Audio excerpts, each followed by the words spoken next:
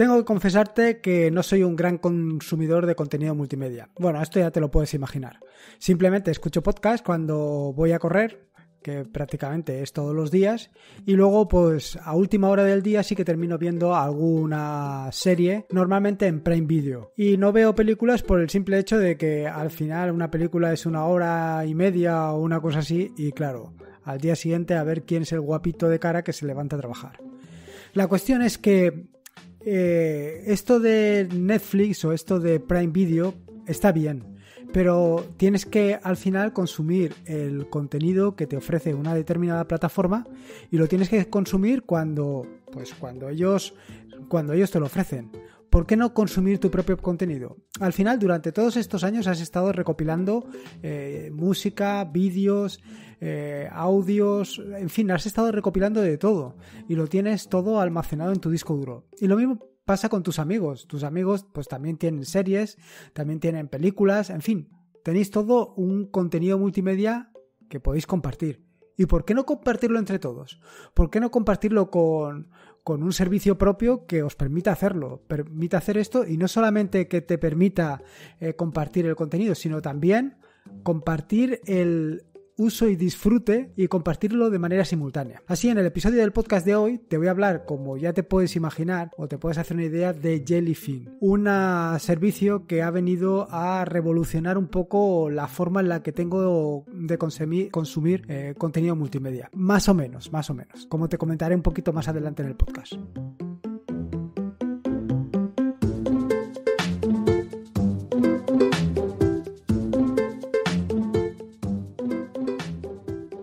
Soy Lorenzo y esto es Atareado.es. Este es el episodio número 203, un podcast sobre Linux, Ubuntu, Android y Open Source. Aquí encontrarás desde cómo ser más productivo en el escritorio, o montar un servidor de páginas web en un VPS, una Raspberry o un, o un servidor multimedia, lo que tú quieras hasta cómo convertir tu casa en un hogar inteligente. Vamos, cualquier cosa que quieras hacer con Linux, seguro que la encontrarás aquí. Bueno, como te decía en la introducción, el objetivo del podcast de hoy es contarte cómo puedes montarte tu propio Netflix. Bueno, tu propio o un Netflix para compartir con cuatro amigos. Al fin y al cabo, de lo que te voy a hablar hoy es de Jellyfin. ¿Y por qué te voy a hablar de Jellyfin? Pues porque después de varios meses yo te diría que bastantes, de dura pelea que ha tenido Ángel de Yui conmigo, bueno, de, de pelea, de insistir, porque yo creo que a cabezones no nos gana mucha gente. Pues ha insistido, insistido hasta que al final lo he probado. Y ha sido tal el hecho de probarlo que he terminado por abandonar la solución que estaba utilizando hasta ahora. Como te decía en la introducción, pues básicamente el contenido multimedia que hago habitualmente es pues normalmente Prime Video y lo consumo gracias a Fire Stick. Tengo un Fire Stick directamente en la televisión y con eso voy consumiendo. Al final ni tiro de Netflix ni tiro de otros servicios. Con Prime Video pues básicamente tengo suficiente. Al final pues normalmente nos da tiempo para ver un trozo, o sea, un, capítulo de una serie, unos 40 minutos y poco más, porque al final pues no, no da tiempo para todo. Al final el tiempo que tienes en el día pues es limitado. ¿Qué vamos a hacer? A mí me gustaría que tuviera 48 horas o incluso más, pero como no puede ser, ¿por qué no un día de 72 horas? Bueno, al final también se te quedaría corto. ¿Qué le vamos a hacer? Bueno, la cuestión es que, como te decía, Ángel ha estado insistiendo en que probara Jellyfin y al final, pues lo he probado y he cambiado lo que estaba utilizando. Eh, hasta, yo te diría que los últimos seis meses, o incluso a lo mejor un poco más, como te digo, estoy consumiendo el contenido que tengo en un NAS, lo consumo directamente en, un Fire Stick a través de, pues, Plex. ¿Qué es lo que pasa de Plex? Bueno, lo que pasa de Plex es que Últimamente, por un lado, lo encontraba muy pesado y por otro lado, como te digo, está la insistencia, la persistencia de Ángel de que probara el servicio. Total, que ayer, eh, ayer, ayer lo probé o sea, ya vengo probándolo desde hace tiempo, pero ayer lo probé haciendo una solución bastante interesante, que era montarlo en un VPS que tengo alojado eh, fuera, incluso fuera de España. ¿Y cuál fue mi sorpresa? Que iba mejor que el propio Plex que tengo alojado en el NAS. Y la verdad es que eso me pareció un poco sorprendente. Un poco sorprendente como que hoy al final he desinstalado por completo Plex y actualmente estoy consumiéndolo ya todo por Jellyfin. Em, quiero decir, al final he hecho varias pruebas. He hecho una prueba montando Jellyfin en la Raspberry, otra prueba montando Jellyfin en el NAS, es un NAS de Synology, y la tercera prueba es montando Jellyfin en un VPS. Dependiendo de lo que tú quieras hacer, pues vas a tener que optar por una cuestión o por otra. Pero antes de meterme y antes de ahondar más en, eh, todo esto que te estoy hablando de Jellyfin, probablemente, aunque casi que lo dudo, eh, probablemente no sepas qué es esto de Jellyfin. Pues decirte, lo primero de todo es que es un servicio que probablemente te cambie la forma de consumir contenido multimedia. Te cambia la forma de consumir contenido multimedia porque es una plataforma de servicio de streaming realmente espectacular. Y no solamente te va a servir para servirte em, audio, digo, perdón, vídeo, sino también audio, eh, también fotografía, en fin, cualquier cosa de las que normalmente haces complex o de las que hacías complex o con otros servicios, también la puedes hacer con Jellyfin. Con la ventaja de lo que te estoy diciendo, por ejemplo, la montas en un VPS eh, compartido con cuatro o cinco amigos y lo podéis disfrutar perfectamente. Eh, ¿Qué limitaciones tiene esto? Bueno, pues esto te lo contaré un poco más adelante. Pero lo que te quería decir o lo que te quería transmitir básicamente es que Jellyfin es un servicio que te va a permitir servir contenido multimedia de forma sencilla, cómoda y sobre todo práctica. ¿Y a qué me refiero con esto de servir? Bueno, pues básicamente es al consumo vía streaming de cualquier archivo de audio, de vídeo, de fotografía o de cualquier cosa. Vaya, Jellyfin viene a ser como el contrapunto de Kodi. Kodi es un cliente donde tú vas a consumir contenido multimedia, mientras que Jellyfin es justo todo lo contrario, es un servicio que lo que va a servir es contenido multimedia. ¿Y quién lo puedes consumir? Pues lo puede consumir prácticamente cualquier servicio que te puedas, cualquier cliente que te puedas hacer a la idea. ¿Qué clientes tienes a, a, tu disposición? Bueno, el primero, y que lo acabo de nombrar, es Kodi. Con Kodi directamente puedes consumir el contenido multimedia que te sirve Jellyfin. Pero no solamente eso, lo puedes instalar en Android. Lo puedes instalar en Fire Stick. Incluso lo puedes consumir directamente desde un navegador web. Es decir, si estás en algún sitio donde no, sabes qué hacer, estás aburrido y quieres consumir tu contenido, tu propio contenido multimedia, porque yo qué sé, pues estás viendo una serie de, de televisión o lo que tú quieras, pues lo puedes consumir perfectamente. Y lo puedes consumir gracias a que tú eres el proveedor de tu propio servicio. Como te digo siempre, Claro, esto tiene sus ventajas y inconvenientes. La ventaja, pues que tú pones el contenido que tú quieres. Otra ventaja, evidentemente, que no pasas por el servidor de nadie, que nadie sabe lo que estás consumiendo. Bueno, teóricamente. Pero no es como en el caso de Plex, donde vas a pasar por los servidores de Plex. Aquí no pasas por ningún sitio. Aquí es de tu casa a donde tú lo quieras consumir. Y como te digo, pues con cualquiera de los clientes que te acabo de comentar. O sea que las posibilidades para consumir son brutales. Es decir, lo montas en un VPS y le dices a tus compañeros, a tus amigos, a los que tú quieras, eh, todos los meses me tenéis que dar 3 euros del, del, servidor. Y con eso montáis todo lo que os haga falta, como te contaré un poquito más adelante. ¿Qué posibilidades o cuán difícil es de, bueno, aparte de servir contenido multimedia, esto me lo he dejado, evidentemente Jellyfin te permite gestionar todo el contenido multimedia que tengas alojado. Es decir, te permite gestionar todas las películas, te permite eh, gestionar toda tu música y te permite gestionar, evidentemente, tanto fotografías como audios. Todo te permite gestionarlo de una manera relativamente sencilla. No solo eso, sino que además se encarga de pues descargarte toda la información que viene asociada con una película, todos los metadatos, todo aquello que normalmente acompaña una película y que al final siempre requieres para que, pues para tener una, una experiencia completa de lo que es ver una película. ¿Qué actor es este? ¿Dónde sale este actor? la sinopsis de la película o de la serie, en fin, todas esas cosas que normalmente echamos o necesitamos cuando estamos haciendo consumo multimedia.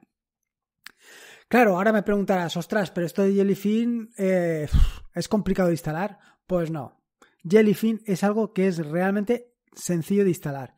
Pero es que además te lo ponen súper sencillo, porque lo puedes hacer o bien a través de la paquetería estándar, simplemente te tienes que eh, descargar, perdón, tienes que añadir un repositorio externo, un repositorio de Jellyfin, y a partir de ese repositorio, pues instalar Jellyfin. Y luego, pues evidentemente, como te puedes imaginar, pues levantar el servicio y ponerlo en marcha. Así de sencillo. Con esto ya tendría Jellyfin perfectamente funcionando. Un sudo apt install Jellyfin y a correr. O sea, más fácil no lo puedes tener.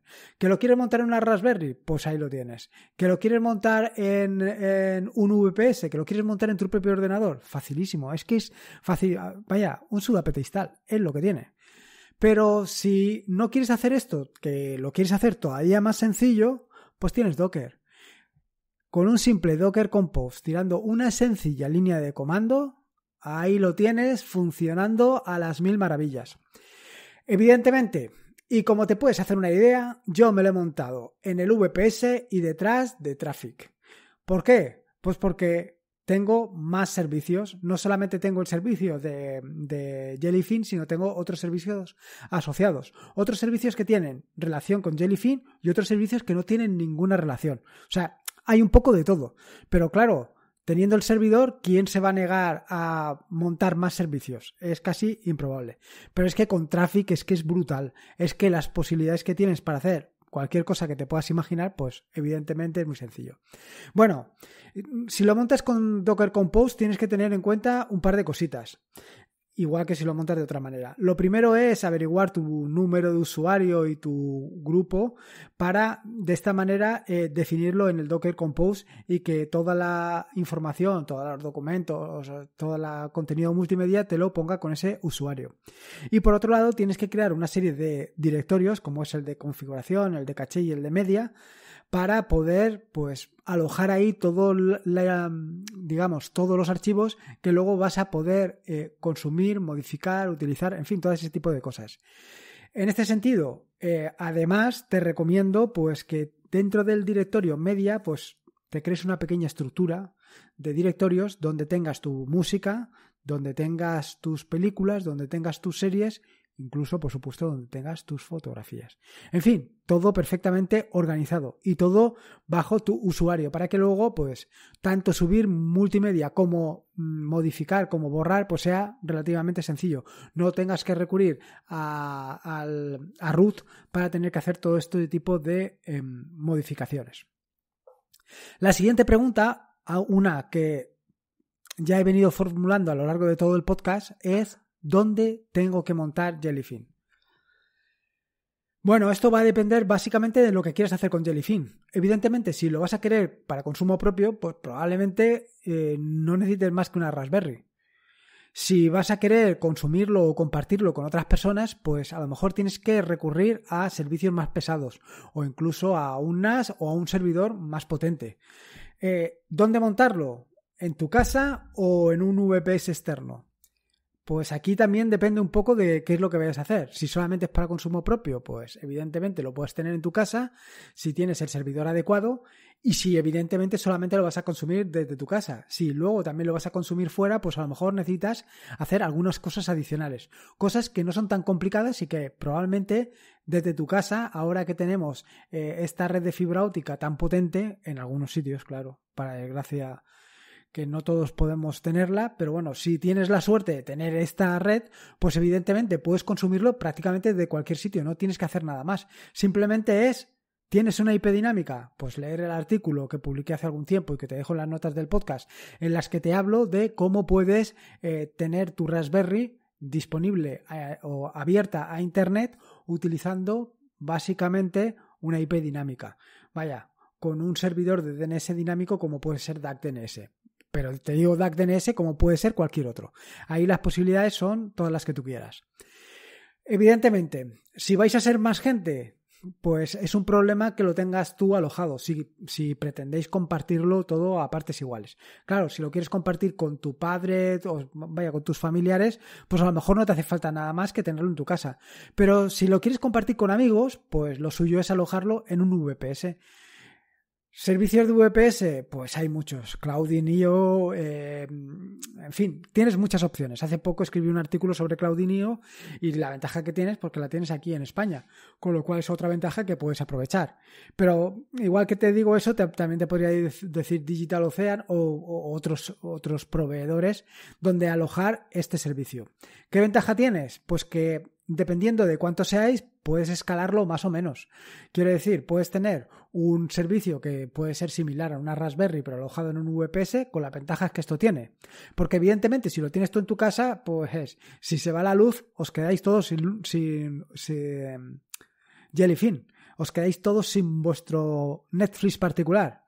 Si lo tienes alojado en un VPS, hombre, esto es bastante complicado de que suceda. Igualmente, al final, tienes que tener en cuenta que todo esto se tiene que mantener, que no es una cosa sencilla. Si lo tienes alojado fuera, también tienes otro hándicap, que tienes que subir todos los archivos a algún sitio donde estén disponibles desde, desde fuera. ¿Qué servicio? Aquí actualmente, pues también tienes otro problema, que es el coste. El coste actual de tener alojado o tener alojamiento de archivos multimedia en Internet, pues es complejo. Es, no es económico todavía. A pesar de que los precios de los SDs están bajando a velocidades, eh, eh, vaya, a unas velocidades de vértigo, lo cierto es que actualmente, pues no es una cosa económica. A lo mejor vale la pena tenerlo en tu casa. O a lo mejor vale la pena contratar otros servicios, como puede ser OneDrive, o puede ser Dropbox, o incluso algún servicio de la nube, como puede ser Azure. En fin, opciones, posibilidades, hay muchas. Tienes que ver aquella combinación que se adecue mejor a lo que vas a hacer, a lo que quieres hacer con otros. Bueno, más o menos ya te he hablado un poco de las posibilidades que tiene, de las opciones, de cómo montarlo, qué posibilidades tienes dependiendo del uso que le vayas a dar.